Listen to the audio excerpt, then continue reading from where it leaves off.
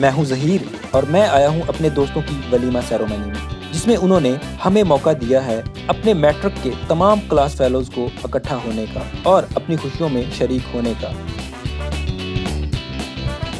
सनम और शाहिद दोनों भाई हैं जो कि बहुत ही हर दिन अज़ीज़ थे अपने मैट्रिक के क्लास फेलोज में।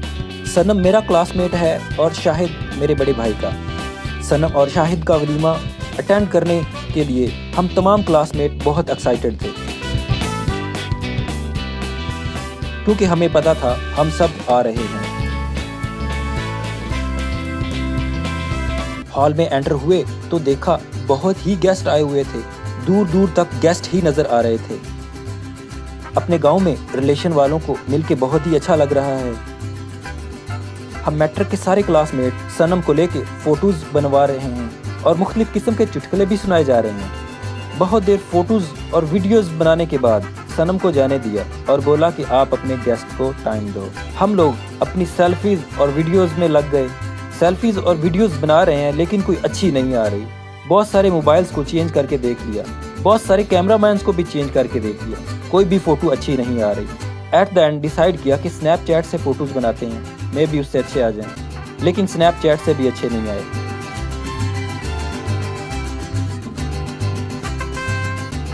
मसला असल में हमारी शक्लों में था। अब जैसी शक्ल है, वैसी ही फ़ोटो आनी है। थक हार के हमने अपने मोबाइल फोन्स बंद किए और खाना स्टार्ट हुआ और खाना खाने लगे। हम लोग खाना खा रहे हैं और सनम के बहुत सारे गेस्ट आ रहे हैं और सनम उनको टाइम दे रहे हैं। बहुत सारी नामवर सियासी शख्सियात भी आई और सनम उनके साथ अभी बिज़ी है। सियासी शख्सियात ने तो आना ही है, क्योंकि सनम और शाहिद की शादी है। खाना खाते हुए हमने डिसाइड किया कि खाना खाने के बाद सनम को फिर हमने घेरना है।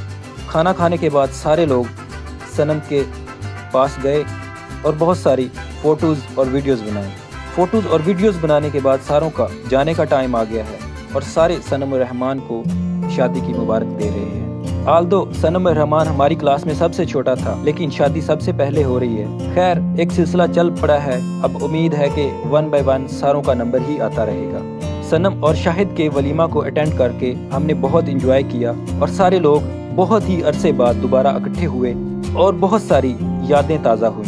एट द एंड हम सब की तरफ़ से सनम रहमान और शाहिद रहमान का बहुत बहुत शुक्रिया, जिन्होंने हमें अपनी शादी पे इनवाइट किया और एक बार फिर दोबारा इकट्ठे होने का मौका दिया। इसमें से बहुत से दोस्त ऐसे थे जो मैट्रिक पास आउट करने के बाद फ़र्स्ट टाइम मिल रहे थे। तो एट द एंड सब की तरफ़ से सनम को शादी मुबारक और अल्लाह ताला मजीद तरक्या दे और खुशियाँ दे सनम की ज़िंदगी में। वीडियो अगर अच्छी लगी है तो मेरे इस चैनल जहीर अहमद ऑफिशियल को सब्सक्राइब कर लें, ताकि आप लोगों को आइंदा भी इस तरह की वीडियोस मिलती रहें।